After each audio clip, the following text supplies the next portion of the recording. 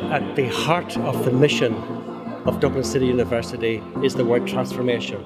Transforming lives and transforming societies through education, through research and through innovation. Transforming the lives of our students so that they leave this university on graduation with the best possible education and personalities developed to succeed in and to flourish in the 21st century.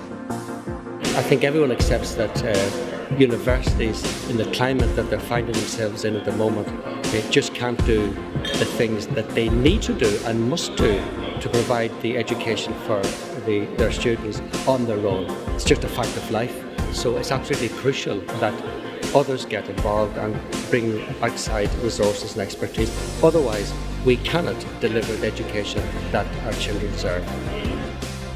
The university has identified a number of key projects, uh, the rolling out of which will uh, achieve uh, those, uh, that objective of making a positive impact.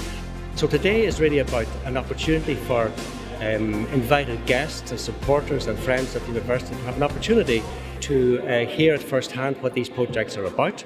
Hopefully, uh, join with the university in a partnership or in a collaboration to help roll out these projects. And it would be great if some of the people today could find a way to join us on the journey of rolling out these projects to ultimately achieve the mission of this university.